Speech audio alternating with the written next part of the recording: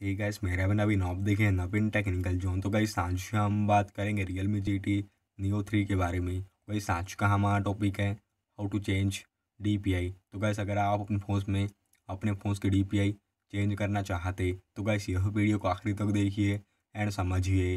And अभी तक आपने हमारे चैनल को सब्सक्राइब नहीं किया है तो प्लीज़ सब्सक्राइब के लिए का तो गाइस बिना नमस्कार यह वीडियो स्टार्ट करते तो आप अपने फ़ोन में देखिए डिफ़ॉल्ट सेटिंग्स ओपन कर लीजिएगा एंड यहाँ पे आपको सेटिंग्स में देखिए, कुछ इस प्रकार का इंटरफेस हो आता है। तो यहाँ पे आप नीचे आके देखिए सिस्टम सेटिंग्स पे, एंड यहाँ पे आपको नीचे में देखिए डेवलप ऑप्शन फीचर्स पे क्लिक कीजिएगा तो यहाँ पे आपको नीचे में देखिए स्मॉलेस्ट विद ओपन दिया आता है। तो देखिए, अभी हमारे पोस्ट में डीपीआई चल रही है थ्री फोर्टी तो यहाँ पे आप ही करेगा थ्री सिक्सटी करके सेव कर दीजिएगा। तो आपके फ़ोन में डीपीआई चेंज हो जाएँगे। तो इस स्टेप पे देखिए, आप अपने फ़ोन के डीपीआई चेंज कर सकते। तो गाइस ये होता आज का हमारा टॉपिक उम्मीद है कि आपको वीडियो पसंद होगी। आज के लिए बस इतना ही।